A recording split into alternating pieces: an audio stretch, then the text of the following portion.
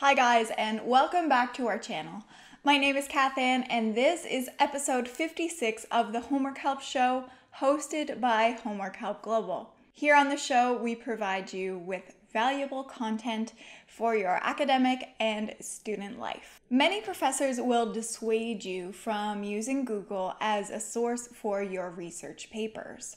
As university and college students, you likely have access to large databases of peer reviewed articles and research papers that are perfect for your academic assignments. Now, you should always be careful about the information that you use in your academic papers.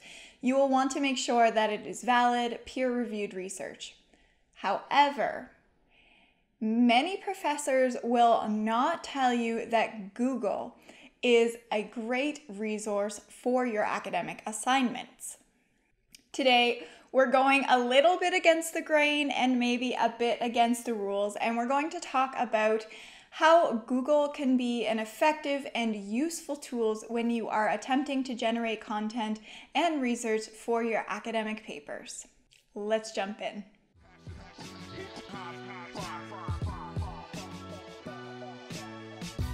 Generating research through a literature review is one of the most important steps in the research process. Google and Google Scholar was developed by Google as a research resource for people looking for academic information.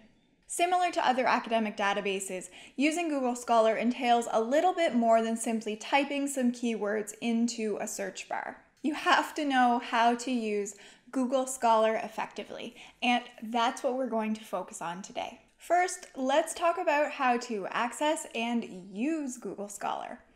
Now, if you're not familiar with the database, as I mentioned, Google Scholar is a research database that has thousands upon thousands of research articles in it. In order to access the website, you do have to type it in manually into your URL bar because Google does not directly link to it from the Google homepage. So, in order to access Google Scholar, type into your URL bar scholar.google.com and you will be able to have access to this powerful research tool. Okay, so why can't you just type a few words into the Google Scholar search bar and hope for the best? Well, it's because there is just way too much information out there. When you're doing a search using Google Scholar, because it is a worldwide database, you have to narrow your search parameters. Now let's talk about some of the ways that you can effectively use Google Scholar and make use of the tool in ways that are strategic and take advantage of all it has to offer because it is a really powerful tool. First, you can use Google Scholar to conduct backward searches. Now, let me talk about a little bit what I mean about doing a backward search. So, you can begin this process in two ways. First, type your keywords or your information that you're researching into the search bar. You will come up with a number of citations. At the bottom of each citation, on the left side, you will see a, um, a word that says cited by and then a number beside it. If you click on that cited by number, Google Scholar will bring up a plethora of other resources that have cited that specific article. In this way, you can start to narrow down your search and find other papers related to your topic. Second, by looking at that cited by number, it is easy to identify whether an article is valid research or not. So, for example, if an article has been cited 1,045 times, this is a pretty clear indication that it is a valid research article and that you are safe to use it in your own research. Another way to conduct a backward research search is to find an article and look at their resources or references page. By scanning the references page on a valid research article, you then have access to a number of different research articles that you did not have access to before. And you know they are valid because they've been used in a valid study as well. So take advantage of this opportunity to generate some research ideas and even some new keywords and terms that you can use in your future research. Second, I wanted to talk about a really interesting tip search in incognito mode. When you search in Google on a regular basis, like most of us do, Google helpfully remembers your key terms and different items that you search. You may be familiar with how Google will suggest keywords when you're doing a search. Now, while this is helpful in a regular search, this might not necessarily be as helpful when you're searching for research. And this is because Google actively narrows your search parameters by making suggestions and remembering what you have researched before. This is great if you are just doing general research, but it might not help when you are looking for very specific information for a research study. This is not the time that you want Google to skew your results because you're looking for original content and original research on a very specific topic. So, how can you beat this? you can put your browser into incognito mode. In this way, Google will no longer remember your previous searches. So, for example, if you are looking for information on rivers in national parks and you did a search for camping in national parks last week, Google will no longer remember that previous search and we'll simply focus on the research that you are looking for in the current moment. So set your browser to incognito mode for best results when you're using Google Scholar.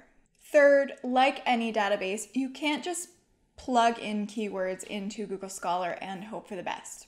Take some time before you do your research to understand what your topic is write down some keywords and some questions around what you'd like to know about the topic. Now, of course, this is going to take some time. However, this will help you to narrow your search parameters and get more accurate results when you're using Google Scholar. Narrow your topic and begin to make lists of questions and keywords. Break them into subtopics and then develop an understanding of what you will plug into Google Scholar. This will definitely turn out more valid results and more accurate information around the topic that you're focusing on. This process may be helpful in helping you to generate more information around each subtopic. Begin by writing down what you would like to learn about a specific topic. Then break this information into subtopics and develop a list of key terms and keywords. This information will help you to narrow your search parameters when you are using Google Scholar and therefore help you to turn out more accurate information. Now, if you are largely unfamiliar with the topic that you're focusing on for your research assignment, you can certainly use databases such as Wikipedia or other online encyclopedias. Now, remember, these will not count as valid resources in your uh, in your research assignment. However, you can begin by using these databases to generate some information and understanding around your topic and then develop a list of keywords from there. Number four, stay organized with My Libraries.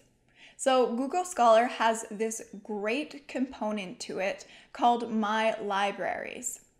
When you go into Google Scholar, you will see a link in the top right hand corner of the page that is titled My Libraries. When you do a search, at the bottom of each citation that comes up in Google Scholar, you will also see a small blue outline of a star. If you click that star, Google Scholar will automatically place that citation into your libraries.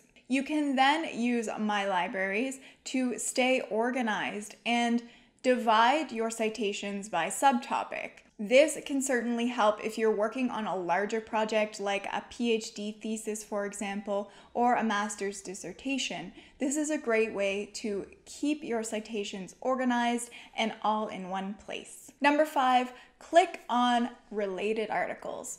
When you see citations in Google Scholar, you might have noticed that there is a small link at the bottom of each citation that says related articles.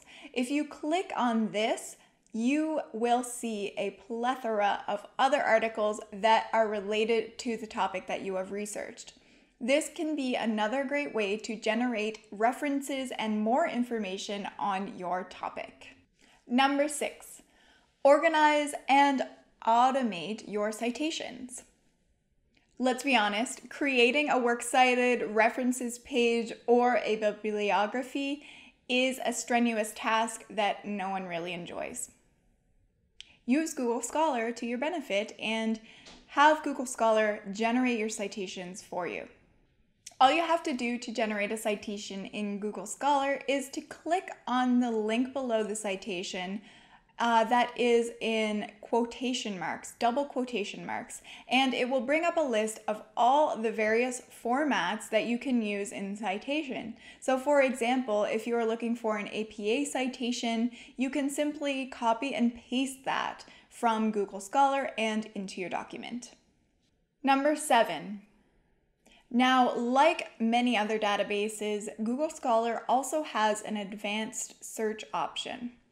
The advanced search option allows you to narrow your parameters even further. So, for example, you can search by author, you can search by time period, and you can enter more specific keywords.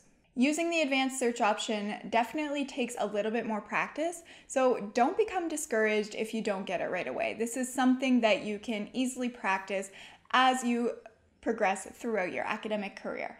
Google Scholar is an extremely powerful tool and something that is very useful for many students. It can help you to generate accurate and valid, up to date academic research and make your research process a little bit more streamlined. Google Scholar can be a helpful tool to mine research for potential research papers and to develop an understanding of your research topic a little bit further. It can also help you to generate accurate, citations, and to organize them into a bibliography. Now, you might be wary about how to identify a valid or relevant research article. This is something we discussed in last week's episode, episode 55 of the Homework Help Show. We discussed how to spot bad science. So, if you're wary about using an online database like Google Scholar, check out episode 55 for some tips on how to identify a bad scientific article and what to look for when you are identifying valid or relevant research. Well, guys, that is it for me this week. I hope this episode was helpful to you. As always, if you have any questions, jump into the comments below. We always love to hear from you guys. Make sure to like this video and subscribe to our channel so you don't miss out on any more academic content. Make sure to connect with us on all of our social media platforms. Everything is linked and listed in the description box below. We always love to hear from you guys and make sure to reach out and connect.